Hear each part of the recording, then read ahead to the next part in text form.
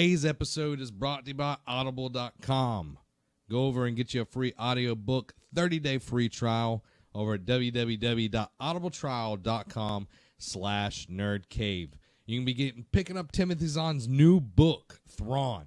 It's freaking awesome. Or you can get Ahsoka. You can get all these Star Wars books because everybody loves Star Wars. If you don't love Star Wars, what are you doing with your life?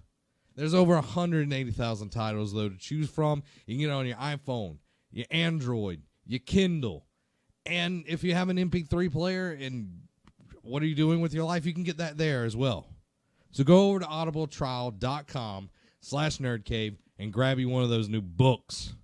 Get smart. We read at the Nerd Cave. We read. Build it beautiful. What's up, everybody? This is Zach And Allie. with the Nerd Cave Podcast, episode 212. It's a lot of episodes. Yes, there's one or two out there in the wild for you. Last week, Mm-hmm. we had our live show. Yeah, I didn't get to see any of it. It was very good. I enjoyed spending time with everybody. That's good. You got to go on a trip, so tell us a I little bit about the trip. Um, I went down to Orlando for a convention called MegaCon. It is a huge convention. Um, I think it used to be the biggest in Pens- or excuse me, in Florida, but I believe Pensacon beat it out just in terms of numbers. oh, okay. Um, size wise, MegaCon's definitely bigger. Yeah. Um, but yeah, there were a lot of uh, like celebrity guests there. Uh, Stan Lee, probably the biggest one Mhm. there. Um, I didn't actually get to see him in person, but like, cause like every celebrity has like their own table, and it's like you go see them. Stan Lee had a whole thing called the Stan Lee Zone. Like there was a sign Wow. hanging down from the ceiling, that's just like the Stan Lee Zone, and I was like, wow, that's cool. You could just hear him shouting Excelsior yeah. all the time. Yeah, there was uh, there was some few there was a few uh, Disney like Disney animated princess Mhm. voice actors and actresses. Um, some of the Sailor Moon voice actresses were there. That's awesome. Um, Tom Cavanagh yeah, Tom Cavanagh was there. from The Flash. You know him Uh, as. that girl whose name I don't remember. She played Kristen Snow. I don't know her real Yeah, name. Yeah. Um, and then you had Sarah from uh, Arrow and Legend Yeah, of Tomorrow. um, And then uh, Gina Torres. Uh, if you don't know who she is, she I can't remember her character name, but she was on Firefly, the um, Wash's wife. oh, I don't remember her name on Anyway, the show. but she was there. That's cool. um, You yeah, had there were- Data as well. Yeah, you had like yeah, a was- ton of people there. and there were a lot Day. of uh, cosplay guests. Uh, Mhm. if you guys know cosplay names, Yaya Han was there. I did get to see her in person. Uh, she was at her vendor booth, and I walked by, and I was like, "Oh, it's Yaya." Okay. Oh yeah, you know, me and that, Yaya. you know, that super famous girl who has like her own line of fabric and Jo-Ann's, like whatever. Yeah, Yaya. Um. I just call her Ya because we're on Ya. first name basis. Oh, basis. you guys. You're, Yeah. Well, wouldn't it just be Yaya? Because it's Yaya No. Han. no, like we're So you're saying Ya Han Yeah, is her last. no, it's Ya Yahan. Is Ya, it? Yahan. like we're so uh You're so close. So You guys close. look like they're like this. They're like this. yeah, like I want to say colloquial, but I don't think that's the right word no, here. it's not. Like we're besties, yeah, you're besties. besties. Uh, and she's like, look at each other. Like you just Yeah. look at each other and be like, she calls me Za. I call her "Is Ya. that- that- there you go. So There you go. I don't know how that happened, but it was just it just happened. I don't know. Yeah, but uh, yeah, um, we it's a four day convention. We were only there for Saturday and Sunday. We got to Orlando on Friday, and that Mhm. was a really long drive, especially because I just remembered this. Um, we were driving in one of my friend's cars. And she had just had her AC fixed, but her car is notorious for breaking down at least once on a convention road trip. So on the, like we were, we were like 20 minutes till we got to our like our um, hotel, and the AC went out, and so it was me and two of my friends, because two of my other friends were in another car, Yeah. and so we're sitting there like we're like we had to roll the windows down. We're dying like we had like a bottle of water left. We're like rationing out the water because it was so hot. uh, but we, we we got there. We got in the AC. We were fine. Um, but that was that was miserable. I can imagine. I can imagine. yeah, like because Orlando is just so hot. Yeah, and then um, I will say because it was Memorial Weekend, Memorial Day weekend, uh, the traffic was not as bad as I thought it was gonna be. I'm sure you guys are excited to hear about that. Yeah, the Um, traffic the from the Nerd Cave podcast. Last week's traffic. no, um, we had a lot of fun. Uh, we dressed up both days. Uh, the f- on Saturday, we, if people know this anime, uh, me and some friends, we did a small group of Seven Deadly Sins. Um, I cosplayed Elaine. again for people who know, I don't know how many people have watched it. Is she a sin or not? no, she's not. She's the sister of a sin. What's the sins? Uh, his sin, he's sloth. Oh, so he's lazy. Yeah, I can get behind that. yeah. Except like their their sins are kind of um, they're not. It's not like oh he's super lazy. I think his thing is like he's late to stuff. Oh, okay. Um, yeah. but he's all he's also kind of lazy. It's it's more interpretive, I think. yeah. for some of the stuff. But Yeah. um uh yeah, so we did that. A lot of people asked to take our pictures, like every and also uh, my friend did the Gerudo Link outfit, so it was constantly like um cuz like we have bags, so it's like, okay, I'll hold your bag. No, you hold my bag. I'll hold your bag because people were always taking our pictures. But it was a lot of fun. Uh, we met some really great people. And that's pretty much it. yeah, I can definitively say that I know exactly how it feels with everybody wanting to take my picture. Yeah, I mean, I'm at cons, you know. it's glamour, glamour life, am I right? I've had like one person ever ask me, "Hey, that's one more than some people." Hey, it's that's very true. Some people they go a whole convention, they they don't know what's up. Yeah. This is my this is my uh, cosplay. Yeah. I'm Zach Dykes of the Nerd Cave Yeah. podcast. Oh, wow, you you look exactly I like him. That makeup. Oh. Uh, I know I did a good job. Actually, I like the beard. cosplayed D.Va in this shirt once. Nerf this, guys, right? Who- Is that which one Uh, is over, that? she's the girl, the giant pink mech. Oh, okay, okay, okay. She's my main. Huh. Except I, I I'm getting close to being a Mercy main in terms of hours. Yeah. There's like a few hour difference, I think. Yeah. Well, there you go, guys. That's awesome, though. I do want to go to that convention just because it's very fun. I will say the tickets are pricey. Tom Cavanagh. That is worth the price of Oh no, admission. no, like uh, no, like we definitely felt like we got our money's worth. It is a huge convention. It's is a lot of fun, um, and uh, the park because they have parking all around the convention center, so we really didn't have to walk that far to get to it. Where sometimes with Pensacon, you have to walk a really good distance to get to it. How there. was the security? Um, it it was strange. Like they seemed it seemed to feel very secure, but with their at least whenever we went through weapons check, um, because I have personally worked a weapons check before at a Mhm. larger convention, and they seemed kind of lax about it. Really? Um, like I, I shouldn't I shouldn't say that. Like they there was one guy who tried to take in like a full wooden hammer, like a solid wooden hammer, and the, the security people were like, "We're not." Not gonna let you take that in. Are you crazy? Yeah. But um, you saw the picture of my friend with her spear. yeah. Um, that actually, since it was made out of installation foam, it actually had a sharp point to it at first, but they dulled it down because they figured they're not going to get let in with that. But they didn't even check that. Hmm. Um, so they were just like, okay, yeah, you're fine. They just, you know, check it in, whatever. I guess they, you know, they see that it's not really a blade, so they're fine, whatever. Yeah. We were just, we were a little confused by that because before it's like, you see a weapon, let me check that point.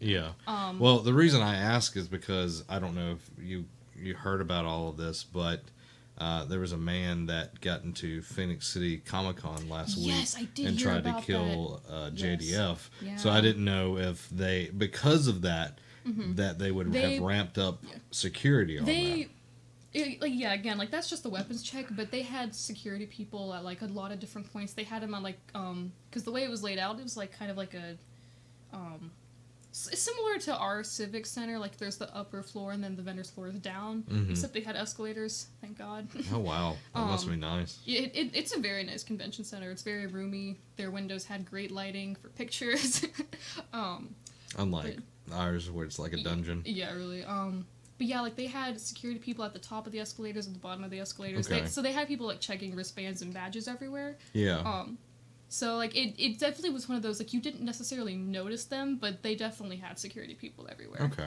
So I, it, I, I felt I felt safe going there. Okay. So- I'm just curious to see how the uh, convention, like, face of it will change in light of what has ha- Yeah. happened. Yeah. Um, just you know, being more strict on things. Yeah. So, there you go. It's a shame that you know something like that happens. It wasn't it that um all wep- is that that convention they banned all weapons afterwards. Yeah. Yeah. Even like all props and stuff. Yeah. Which, Which- is like sad for people who worked really hard on their props, but at the same time, you know, a guy took some. It was he took like multiple guns, and or was it just Yeah, one? he had like Yeah. multiple guns. Yeah. So Don't do that. nope, don't don't do that. Don't be stupid. Postman 2017. Yeah. don't be garbage. yeah, don't be garbage. I was like, know there's a thing. All right, let's get into the news. Game of Thrones final season might not air until 2019. I'm not surprised. Do you say 2019 or 2019? Um, I usually say 2000, but I I, read it say- weird. I say yeah. I usually s- like the larger the number, the more I have to feel like I have to say 2000, like 2000 something. hmm Um, except whenever it gets to 2020, then it's it's 2020. Obviously, Yeah. you're not gonna say 2020. It's stupid. And then we're back into the 20s and the 30s And and, I 40s. want I want the 20s fashion to come back. Not necessarily like the social things of the time because Yeah, let's not You do that. let's but not you know do like that. like you know like the suits, the flapper Yeah. dresses. That'd be fun. Had really nice fashion back then. They did. Yeah. Mm-hmm. Very Just nice. Not necessarily social views. Yeah. And society wasn't great. yeah, and alcohol was banned. Yep. And a lot of people would go insane if that was the, the way Yeah, right well, now. they had their their what was it speakeasies? Yeah. I, I would call mine the whisper. Ooh, that's a good one. Yeah. I like that. Yeah. I don't, I don't know what I call mine. But like if someone like tried to give me the password and they were like talking normally, they was You're like, like, no, no, it's called the whisper. you have to whisper. You have to whisper. the eighth and final season of Game of Thrones might not air until 2019. In an interview with Entertainment Weekly, HBO programming president Casey Bloys revealed that while nothing's set in stone yet, there's a chance fans will have to wait an extra year for the show's final season. It all depends on how much time showrunners David Benioff and D.B. Weiss will make will need to make season eight. Uh, they have to write the episodes and figure out the production schedule, said Bloys. We'll have a better sense of that once we get further into the writing. Uh, Bloys also confirmed the upcoming Game of Thrones spin-offs currently in development will only air sometime after season 8 concludes, as HBO wants to give the original series its proper send-off. That's fair. So I like that they're actually going to wait until the show is done Yeah. before start like oh doing all this yeah, like because a lot of people. Um, a good example is uh, Buffy because there was the Angel spinoff, but that was going Mhm. on while Buffy was going on, and like I know they had their crossovers, but yeah, a lot of spinoffs tend to go on at the same time, yeah and you know. Sometimes the ratings suffer from that. yeah Um, and then sometimes it's done really well because like if you look at the Arrowverse you had Arrow Yeah. then you had Flash then you had I- like it's it's weird 'cause it's almost like they're not even like. I wouldn't even consider them spin-offs anymore. You know what I mean? yeah they they've come into their own Yeah. and oh my Flash season three whoa that thing was killer Ah.